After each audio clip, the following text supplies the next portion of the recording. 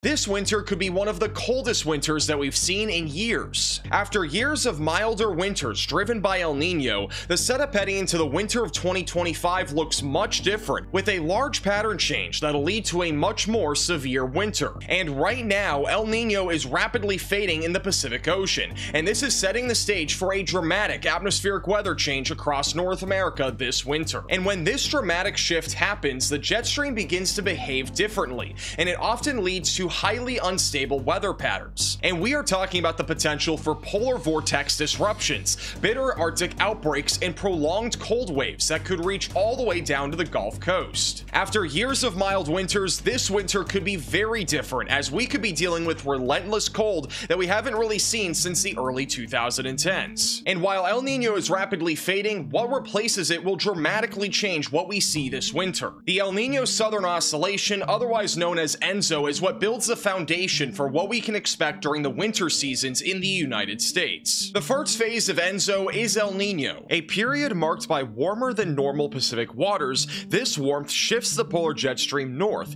keeping much of the northern United States mild while trapping Arctic air over Canada. And the opposite ENSO phase is La Nina. La Nina is defined by colder than normal Pacific waters. During La Nina, the jet stream slips south, allowing frequent bursts of Arctic air to plunge into the United States. In between La Nina and El Nino is our neutral phase, which could happen this winter. This is when Pacific waters are near average and ENSO's influence weakens. In these cases, other drivers like polar blocking and sudden stratospheric warming take the lead in shaping the winter pattern. And heading into this winter, NOAA has issued a La Nina advisory, meaning that we are officially entering a winter pattern that is dominated by La Nina conditions. This combination historically leads to volatile patterns. We can expect quick hitting heat waves and brutal cold snaps, and a higher risk of Arctic air reaching deep into the lower 48. The last time we saw a setup like this was back in the winter of 2013 and 14, which many of you probably remember. But in case you don't remember, this was one of the coldest winters in modern United States history. That year featured a neutral to La Nina based pattern, strong high latitude blocking, and repeated polar vortex disruptions. The result of this winter was relentless cold. For example, Chicago spent over 20 25 days below zero, and the extreme effects did not end there. Parts of the deep south and Texas also experienced deep freezes, causing power outages and critical infrastructure losses. In fact, more recent winters have still resulted in significant power grid failures. For example, during the February 2021 Texas freeze, more than 4.5 million homes and businesses lost power amid deep cold and ice. On the other hand, across the Midwest, temperatures frequently dropped 20 degrees below zero zero, with wind chills occasionally reaching as low as 60 degrees below zero. Now that is brutal cold. And this year, we are seeing many of the same signals. This includes neutral Pacific water temperatures, a negative North Atlantic oscillation, and a developing ridge trough pattern that favors cold east of the Rockies. Now, with all that said, this does not guarantee that we are going to see a repeat of the winter of 2013 and 14. However, this does suggest that sustained cold is likely, especially in January and February. February. Based on current trends, this is how the winter of 2025 into 2026 is currently shaping up. The Midwest, Great Lakes, Ohio Valley, and Northeast will face repeated Arctic fronts and long-lasting cold spells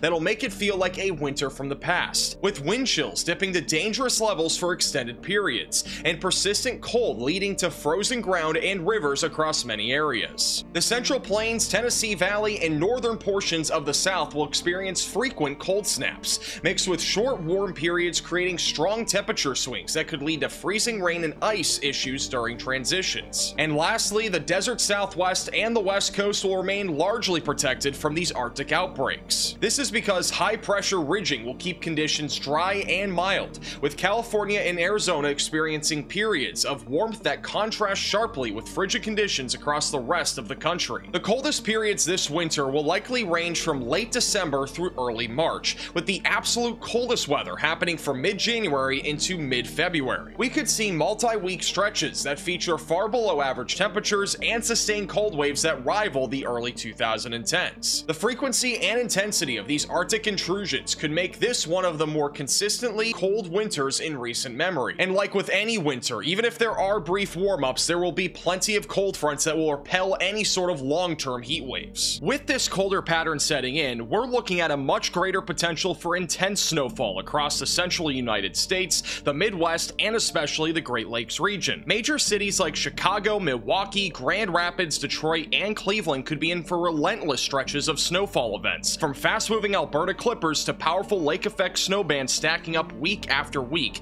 Even farther south and west, places like Kansas City, Omaha, Des Moines, and St. Louis may wind up seeing more snow than they've had in years. Lake effect snow could be explosive early on, as repeated waves of Arctic air sweep across the still unfrozen Great Lakes. It's not necessarily about one massive blizzard this year, it's about the sheer number of smaller storms that could steadily pile up into some truly impressive totals by the end of the season. Prolonged cold does not just affect snowfall in winter conditions, it affects the daily part of our lives. The type of cold that we are looking at this winter could create ripple effects in multiple sectors. And with any winter, one of the biggest problems is that heating will surge. This will put heavy strain on natural gas and electrical grids. Power companies may have to implement rolling blackouts in regions where demand exceeds supply.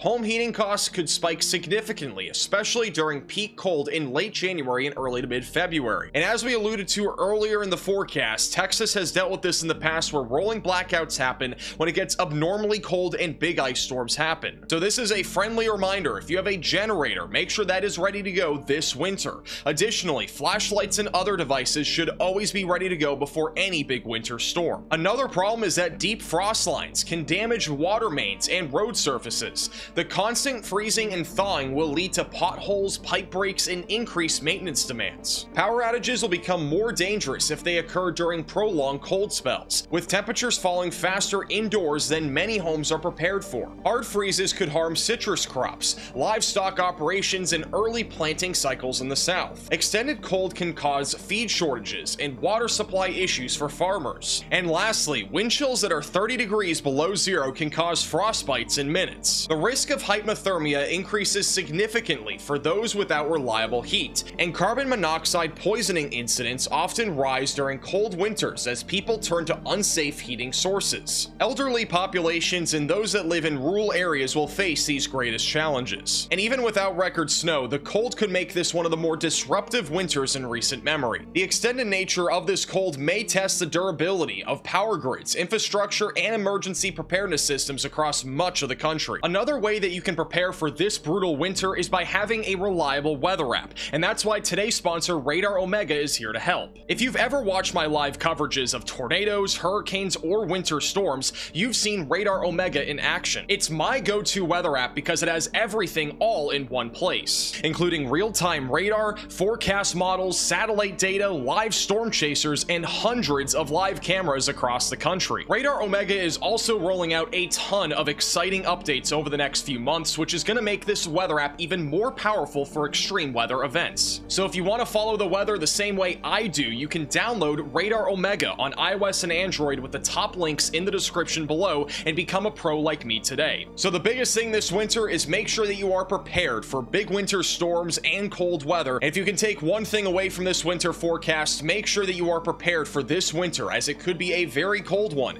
and it could feature some big winter storms. And it's always a good idea to be prepared ahead of time before a winter storm or an Arctic blast strikes your location. And as always, thank you all so much for watching this winter forecast. This is our third winter forecast of this year. We'll likely have one more in early December, so make sure that you are subscribed to the channel, click the bell icon so you're notified with the latest updates, and make sure to follow us on Facebook and Twitter at MaxVelocityWX so you never miss a big update about anything in the weather world. Thank you all so much for watching, and we'll see you all again in the next video.